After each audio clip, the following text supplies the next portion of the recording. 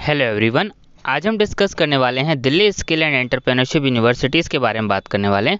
अगर आप इस यूनिवर्सिटीज़ में अंडर ग्रेजुएट प्रोग्राम में यूजी प्रोग्राम में एडमिशन लेना चाहते हैं तो इसकी लास्ट डेट जो है फिफ्टीन सितंबर है। इससे पहले थर्टी फ़र्स्ट अगस्त थी फॉर्म फिल करने की, जो कि डेट एक्सटेंड करके फिफ्टीन सितंबर कर दिया गया मैं आपको रिमाइंड करा दे रहा हूँ इसीलिए, ताकि अगर आपने अभी तक फॉर्म नहीं फिल करा हो, आप फॉर्म फिल कर सकते हैं, ठीक है?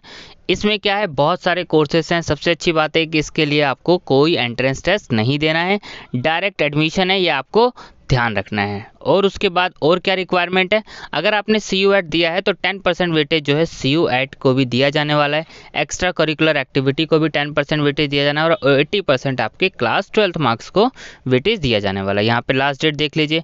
इन्फॉर्मेशन बुलेटिन आपको डाउनलोड करनी है तो आप इन्फॉर्मेशन बुलेटिन जो है डाउनलोड कर सकते हैं। आपको क्या करना है? जस्ट इन्फॉर्मेशन बुलेटिन वाले पेज पे क्लिक करना है इस लिंक पे और आप इन्फॉर्मेशन बुलेटिन डाउनलोड कर पाएँगे। इसमें आपको सारी चीज़ें दी हुई है। सबसे अच्छी बात है इस कोर्स की कि आपको, सबसे अच्छी बात है इस यूनिवर्सिटीज़ की कि आपको सिर्फ़ एक ही बार रजिस्ट्रेशन करना है और उसी में आप सारे कोर्सेस अप्लाई कर सकते हैं। ठीक है?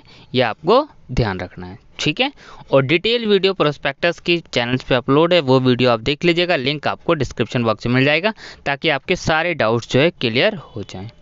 Thank you